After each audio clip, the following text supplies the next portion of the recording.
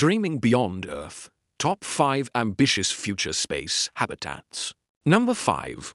Lunar Base Perseverance. Let's begin with a stepping stone closer to home. A permanent human settlement on the moon, envisioned as a hub for scientific research, resource utilization, and a launch pad for deeper space exploration.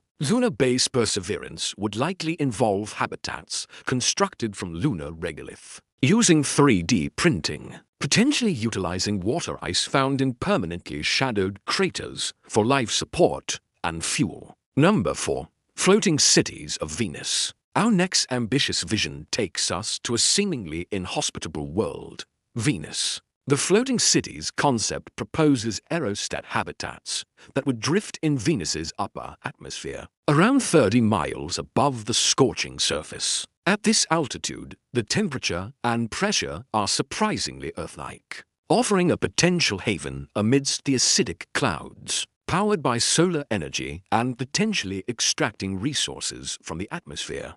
Number 3. Martian Domes of Olympus The dream of establishing a thriving colony on Mars has captured the public imagination for decades. Martian Domes of Olympus envisions interconnected, pressurized habitats constructed within vast geodesic domes. These settlements would aim for self-sufficiency, utilizing Martian resources like water ice and regolith for agriculture and construction, powered by a combination of solar and nuclear energy, establishing a permanent foothold on the red planet. Number 2. Asteroid cities of the belt, moving beyond planets. The asteroid cities concept proposes hollowing out large asteroids within the asteroid belt and transforming them into rotating habitats. The rotation would simulate gravity, and the interiors could house vast ecosystems, shielded from radiation and micrometeoroids by the asteroid's natural rock. These could become resource extraction hubs and even self-sustaining space colonies. Number 1.